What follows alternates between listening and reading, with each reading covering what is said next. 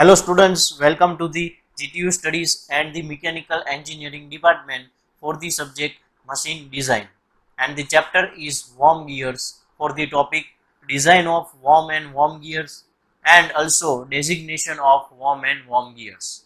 In previous video lecture we have completed the nomenclature terminology of the worm gears જે તમે ખાસ study કરી લેજો જેથી કરીને તમને ડિઝાઇન પ્રોસિજર જે હું તમને આજે સમજાવીશ એ સમજાઈ જાય રેડી તો ડેઝિગ્નેશન કે ડિઝાઇન પ્રોસિજર સ્ટાર્ટ કરતા પહેલા basic idea worm and worm gear પેરનો હોવો જોઈએ. તો આમાં તમને એનિમેશન એક ટાઈપ વીડિયો છે એમાં બે કમ્પોનન્ટ દેખાય છે, જે દરેક ગિયર્સ પેરમાં આવે છે. પણ દરેક gear pair spur gear helical gear કે બેવેલ ગિયર હોય, એમાં બંને ગિયર ટાઈપ સ્ટ્રક્ચર જ હશે સર્ક્યુલર જેમાં આપણે એકને ગિયર અને એકને પિનિયન કહેતા એવું આમાં નહીં થાય, થોડુંક અલગ આવશે. જેમ કે ઉપરનો કમ્પોનન્ટ છે એ સિલિન્ડ્રિકલ કમ્પોનન્ટ છે, જેને વોર્મ કહેવાય. અને નીચેનો જે કમ્પોનન્ટ છે એ સર્ક્યુલર છે, જેને ગિયર્સ જ કહીએ છીએ, એટલે એને વોર્મ ગિયર નામ આપીએ છીએ. પર્પઝ શું છે? તો purpose is same to transmit the power and motion પણ કયા ગિયરમાંથી કયા ગિયરમાં થશે એવું સ્પરમાં આપણે જોતા હતા કે પિનિયનમાંથી ગિયરમાં મોશન ટ્રાન્સમિટ થાય. આમાં કઈ રીતે થશે? તો ઉપરનો જે કમ્પોનન્ટ્સ છે વોર્મ એમાંથી નીચેના વોર્મ ગિયર્સ છે, એની અંદર મોશન ટ્રાન્સમિટ થશે. એટલે વોર્મ જે છે એ ડ્રાઇવિંગ મેમ્બર છે અને વોર્મ ગિયર છે એ ડ્રીવન છે એવું કહી શકાય. અને ખાલી વોર્મ ગિયર ઓબ્ઝર્વ કરો તો એની ઉપર ટીચ છે ઓલવેઝ હેલિક્સ ફોર્મમાં જઈશે એટલે એ હેલિકલ ગિયરની જેવું જ છે એવું તમે કહી શકો છો. એટલે ડિઝાઇન કરતી વખતે હેલિકલ ગિયરની ટર્મિનોલોજીનો પણ યુઝ કરી શકશો. રેડી આટલી ખબર પડી ગઈ? તો now we will move to the designation કઈ રીતે વોર્મ એન્ડ વોર્મ ગિયર પેરનું ડેઝિગ્નેશન થાય છે? ડેઝિગ્નેટ એટલે શું? કે કોઈ પણ ગિયર્સ છે અથવા કોઈ પણ કમ્પોનન્ટ છે મિકેનિકલ, એને તમારે કોઈ સિમ્બોલિક રિપ્રેઝન્ટ કરવું છે જેથી કરીને બધા એ સિમ્બોલ ઉપરથી કેટલી બધી ઇન્સ્ટ્રક્શન લઈ શકે. તો એને આપણે ટૂંકમાં ડેઝિગ્નેશન કહેતા હોય. તો એ રીતે જ ડેઝિગ્નેશન છે એ વોમ એન્ડ વોમ ગિયર પેર્સનું થાય છે, જેમાં ઘણા બધા ટાઈપના ડાયમેન્શન છે એની અંદર આવી જશે. કઈ રીતે થશે એ તમને બતાવી દઉં. આ રીતે always worm and worm gear પેર્સનું designation થાય. જેમાં ચાર ડાયમેન્શન અથવા ચાર નોમિનક્લેચર બતાવવાના છે. જેમાં પહેલું છે ઝેડ ડબલ્યુ ઓબ્લિક, બીજું છે ઝેડ જી ઓબ્લિક, ત્રીજું છે ક્યુ અને ઓબ્લિક ચોથું છે એમ. જેનો મિનિંગ શું થાય તો ફર્સ્ટ એટલે ઝેડ ડબલ્યુ મેં કીધું એમ પ્રીવિયસ વિડીયોમાં મેં સમજાવેલું છે. છતાં તમને કહી દઈએ number of start on worm W worm માટે છે એટલે. અને બીજું એ number of teeth on worm gears છે. એટલે ગિયર માટે છે એટલે ઝી લગાડેલો. ત્રીજું ક્યુ છે જેને કહેવાય ડાયામેટ્રલ કોશન રેડી એ ટર્મિનોલોજી મેં તમને સમજાવેલું છે. અને એમ છે એ છે આપણું મોડ્યુલ જે ઓલવેઝ પહેલાં પણ ગિયરના ચેપ્ટરમાં આપણે સ્ટડી કરી ગયેલા છે. તો આ રીતે નોમેન ક્લેચર અથવા એનો યુઝ કરીને ડેઝિગ્નેશન કરવામાં આવે છે. ઘણીવાર આની અંદર ઓબ્લિક કરીને એ પણ લગાડવામાં આવે છે. એ એટલે સેન્ટર ડિસ્ટન્સ સેન્ટર ડિસ્ટન્સનો પણ ડેઝિગ્નેશનમાં યુઝ કરી શકો છો. પણ નાઇન્ટી નાઇન પર્સન્ટેજ આવી રીતે ડેઝિગ્નેટ થતું હોય છે. રેડી આ છે તમને ન્યુમેરિકલમાં યુઝ થશે. ધ્યાન રાખી રીતે સીધો ડેઝિગ્નેટ આપીને તમને સોલ્વ કરવાનું પણ કીધેલું હોય છે. હવે આપણે જઈએ ડિઝાઇન પ્રોસિજર ડિઝાઇન ઉપર.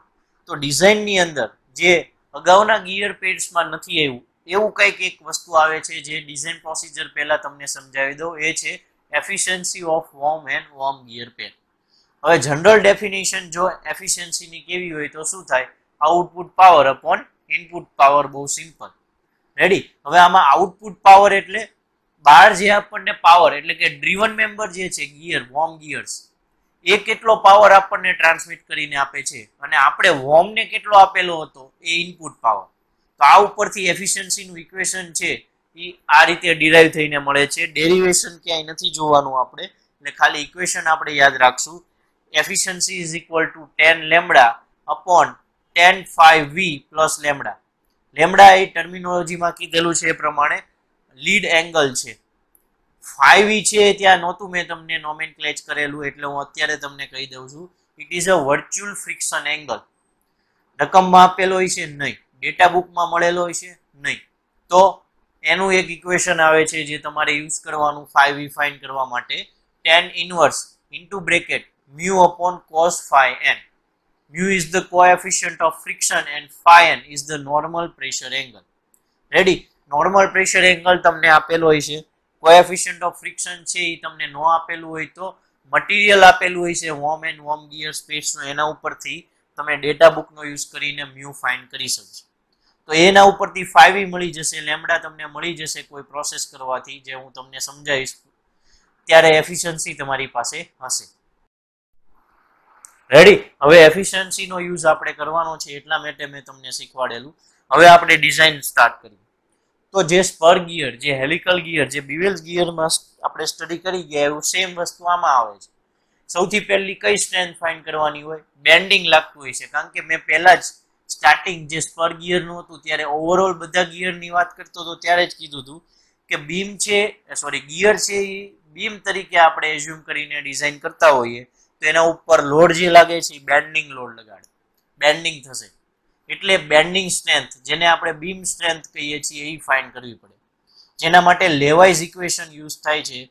તો લેવાઇઝ ઇક્વેશન છે, એ આવું કંઈક યુઝ કરવાનું છે, જેમાં આવે F B is equal to sigma બીજી into B into M into Y into cos lambda હવે આ ઇક્વેશન છે ને એ તમને યાદ રહી ગયું હોવું જોઈએ, કારણ કે આ ફોર્થ ચેપ્ટર છે ગિયરનું જેમાં આ સેમ ઇક્વેશન આવે છે. થોડુંક અલગ બધામાં આવતું હોય છે, જેમ કે આમાં કોસ લેમડા આવે છે, જે પહેલા ત્રણમાં નહોતું. પણ સિગ્મા બીજી જે છે ઇન્ટુ બી છે ઇન્ટુ એમ છે ઇન્ટુ વાય છે, બધાના મિનિંગ તમને ખબર હોવા જોઈએ. આપણે પહેલાના ત્રણ ચેપ્ટરમાં ખાલી સિગ્મા બી લખતા હતા. એનું રીઝન હતું કે પિનિયનનું પણ હોઈ શકે અને ગિયરનું પણ અહીંયા બેન્ડિંગ સ્ટ્રેસ હોઈ શકે, સિગ્મા બી અહીંયા વોર્મની કોઈ દી બેન્ડિંગ સ્ટ્રેસ ન લેવાની હોય ઓલવેઝ વોર્મ ગિયરની જ લેવાની હોય. એટલે સિગ્મા બીજી ડાયરેક્ટ લખી દે. B is the face width M is the module Y is the Lewis form factor અને lambda is the lead angle again મેં જે તમને પહેલાં કીધું એ. રેડી ફરીવાર નોમેચર બધા ડિફાઇન કરીને તમને આપી દીધા.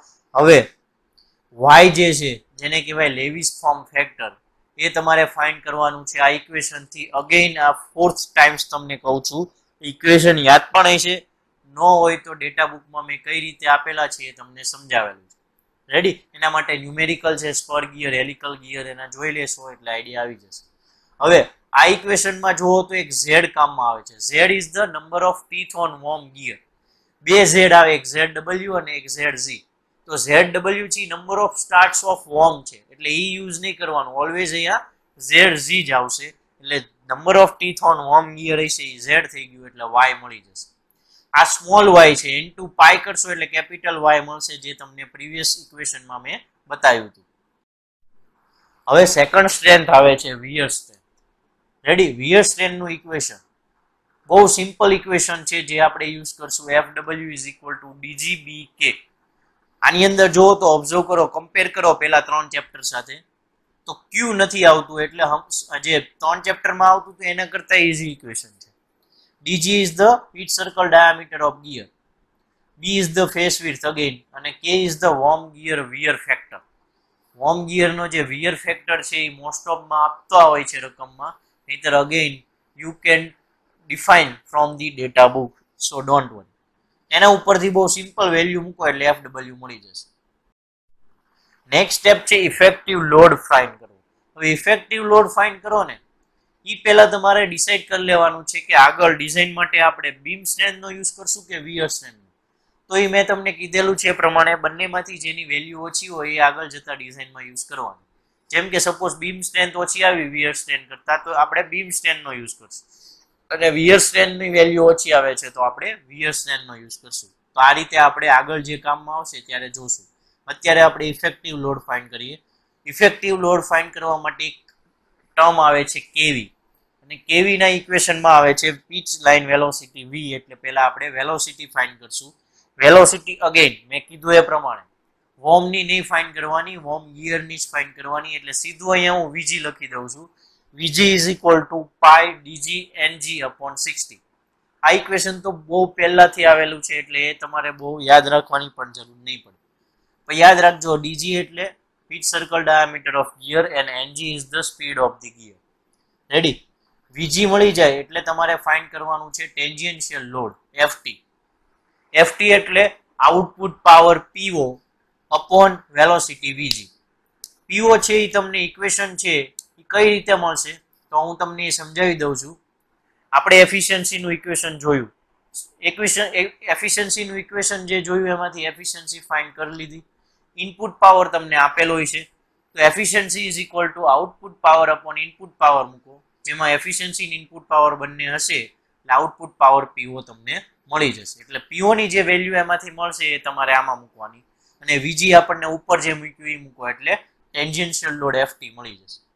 અને એના ઉપરથી ફાઇન કરો effective load F effective equation છે કે કેમ એફટી અપોન કેવી એમાં K is the service factor K M is the load factor F T is the tangential load અને કેવી ઇઝ ધ વેલોસિટી ફેક્ટર હવે કે ની વેલ્યુ કે એમ ની વેલ્યુ ન આપી હોય તો વન લઈ લેવાની, આપી હોય તો કોઈ પ્રોબ્લેમ નથી.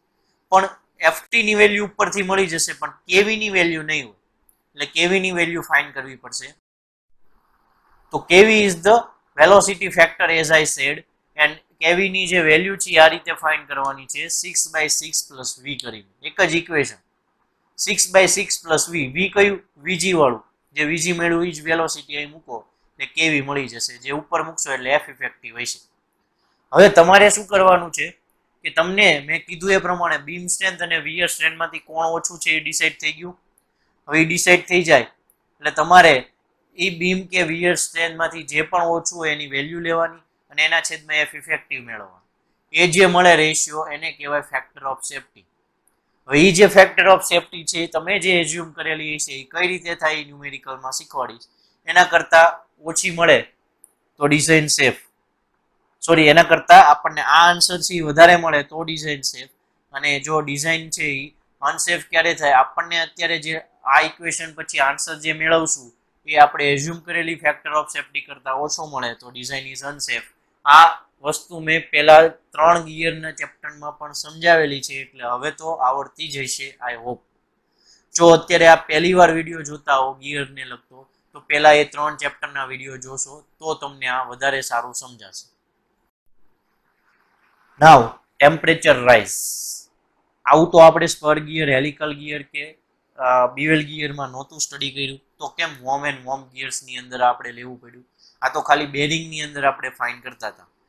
Because there is a worm and worm gear pairs આમાં બે ગિયર નથી, એક વોર્મ છે અને એક વોમ ગિયર પેર છે.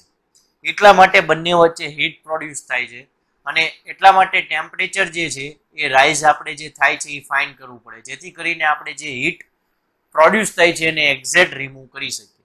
તો સૌથી પહેલાં આપણે ફાઇન કરીએ કેટલી હીટ જનરેટ થશે. રેટ ઓફ હીટ જનરેશન જેને સિમ્બોલ આપી દઈએ એચ જી તો એનું ઇક્વેશન છે એ one minus efficiency into P I simple છે. ઇનપુટ પાવર કેટલું? સપોઝ સો કિલો વોટ ઇનપુટ પાવર છે. આઉટપુટ પાવર કેટલો છે? સપોઝ એટી કિલો વોટ છે. તો વીસ કેમ ઘટી ગયું? તો વીસ કિલો વોટ છે એ રેટ ઓફ હીટ જનરેશન છે. હીટ પ્રોડ્યુસ થઈ ગઈ વીસ કિલો વોટ એટલે એટલું પાવર ઓછો જાય છે આઉટપુટમાં તે વીસ કઈ રીતે જવાબ આવ્યો? વન માઇનસ પોઈન્ટ એટ કરીને, એટલે કે વન માઇનસ એફિશિયન્સી કારણ કે એફિશિયન્સી એટી પર્સન્ટેજ હોય તો જ આઉટપુટ પાવર એટી મળે. એટલે one minus efficiency into input power simple ready અને હીટ ડિસિપેટ એટલે કે જેટલી જનરેટ થાય એટલી ડિસિપેટ તો થવી જોઈએ ને. તો ડિસિપેટ કેટલી થાય છે એ મેળવવા માટેનું ઇક્વેશન છે C into A into bracket T O minus T A T O minus T is the temperature difference તો સી શું છે? Overall heat transfer coefficient A is the external surface area of housing T O is the temperature of lubricating oil અને T A is the temperature of surrounding air લાસ્ટમાં I લખેલું છે. Mistake છે. T એ જ આવશે. હવે to છે lubricating ઓઇલનું temperature છે એ ક્યાંથી આવ્યું તો હીટ ડિસિપેટ આમનામ તો નહીં થાય. આપણે worm and worm gear pair જે છે એ બંનેની વચ્ચે લુબ્રિકેટિંગ ઓઇલ પ્રોવાઈડ કરેલું હોય છે, જે હીટ છે એ એબ્ઝોર્બ કરીને એને ડિસિપેટ કરશે.